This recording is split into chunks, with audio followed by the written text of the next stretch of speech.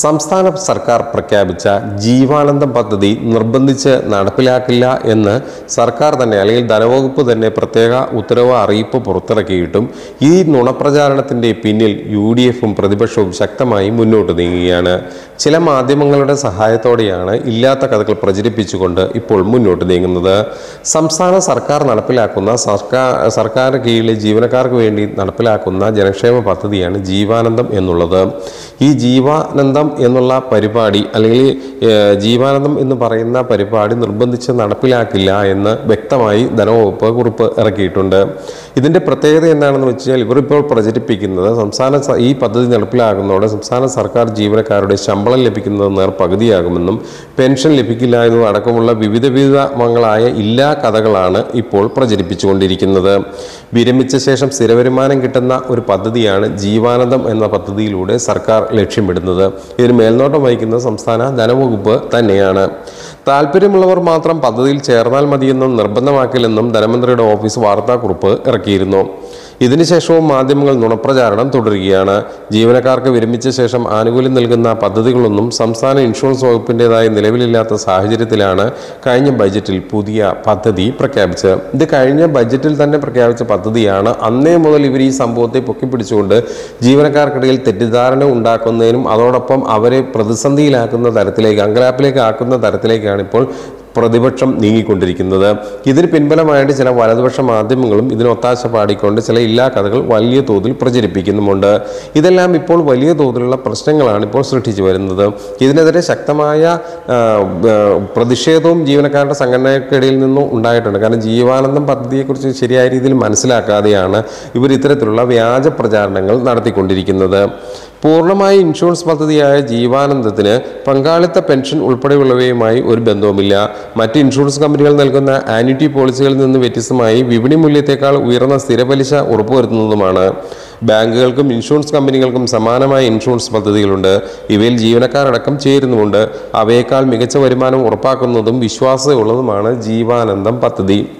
അതായത് ഇത്തരത്തിൽ സർക്കാർ തന്നെ നേരിട്ട് നടത്തുന്ന ഒരു ജനക്ഷേമ പദ്ധതിയെ എങ്ങനെയും പ്രതിപക്ഷത്തിന്റെ വിരോധം മുൻനിർത്തിക്കൊണ്ട് അല്ലെങ്കിൽ ഭരണപക്ഷത്തോടുള്ള വിരോധം മുൻനിർത്തിക്കൊണ്ട് പ്രതിപക്ഷം നടത്തുന്ന ഇത്ര ഹീനമായ പ്രവർത്തികളാണ് ഇപ്പോൾ ജീവനക്കാർക്ക് തന്നെ വലിയ തോതിൽ ലഭിക്കേണ്ട ഒരു ആനുകൂല്യത്തെ അല്ലെങ്കിൽ വരുമാനത്തെ ഇല്ലാതാക്കിയിരിക്കുന്നത്. അതായത് ജീവാനന്ദം പദ്ധതി നടപ്പാക്കാൻ അനുവദിക്കില്ലെന്ന് K P C president K Sudhakaran വ്യക്തമാക്കി കഴിഞ്ഞു. ഇതിനെതിരെ സമരപ്രഖ്യാപനമടക്കം അദ്ദേഹം നടത്തി കഴിഞ്ഞു.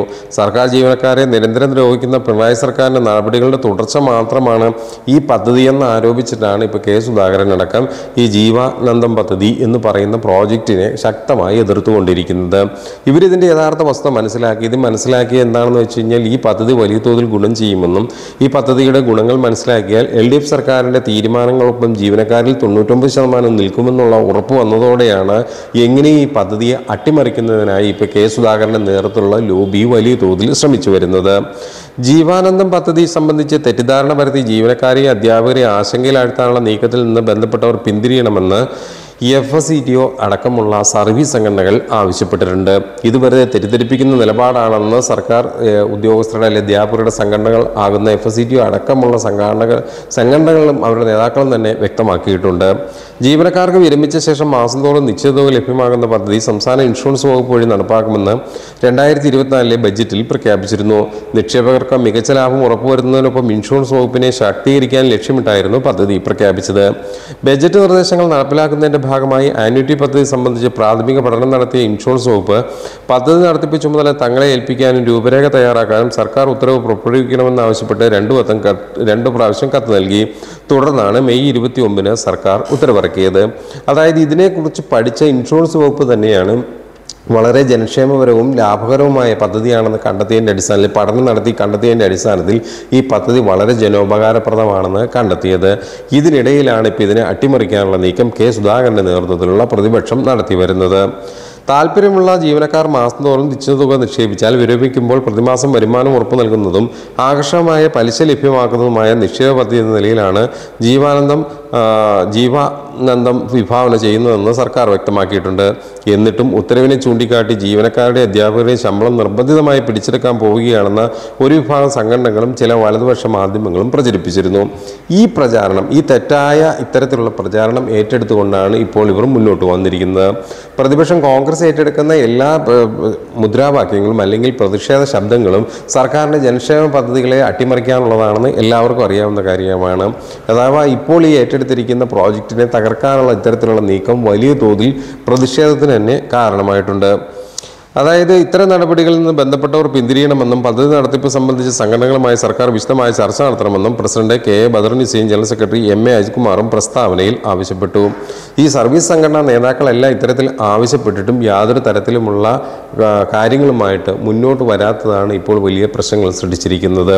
ഇത് പ്രതിപക്ഷത്തിന്റെയും കോൺഗ്രസിന്റെയും മാറ്റു കുറയ്ക്കുകയും ഇവരില്ലാത്ത പൊളിവചനങ്ങൾ പ്രചരിപ്പിക്കുന്നതിന് ശക്തമായ നിലപാടിലേക്ക് ഇവർ നീങ്ങുന്നതിനും കാരണമായിട്ടുണ്ട്. എന്തൊക്കെ തന്നെയായാലും നല്ല രീതിയിൽ നടപ്പിലാകേണ്ട ഒരു വലിയ പ്രോജക്റ്റ് ആ പതിനായിരക്കണക്കിന് സർക്കാർ ജീവനക്കാർക്ക് അവരുടെ റിട്ടയർമെന്റിന് ശേഷം വലിയ തോതിലുള്ള പേയ്മെന്റ് റിട്ടേൺസ് കിട്ടേണ്ട എല്ലാ മാസവും സ്ഥിരമായൊരു വരുമാനം കിട്ടേണ്ട പദ്ധതിയാണ് ഇല്ലാ കഥകൾ നിരത്തി ചില വലതുപക്ഷ മാധ്യമങ്ങളും പ്രതിപക്ഷവും വിശിഷ്യ കോൺഗ്രസും ചേർന്ന് ഇല്ലാതാക്കുന്നത് എന്നുള്ള നഗ്നസത്യം ഈ ജീവനക്കാർ വരും ദിവസങ്ങളിൽ തന്നെ മനസ്സിലാക്കുകയും കനത്ത ജനരോഷം ഇവർക്കെതിരെ കോൺഗ്രസിനെതിരെയും പ്രതിപക്ഷത്തിനെതിരെയും ഉയരുമെന്നുള്ള കാര്യത്തിൽ യാതൊരുവില്ല സംശയമോ തർക്കമോ ഇല്ല എന്ന് തന്നെയാണ് ഈ മേഖലയുമായി ബന്ധപ്പെട്ട നിരീക്ഷകർ നമ്മൾക്ക് നൽകുന്ന വിവരം.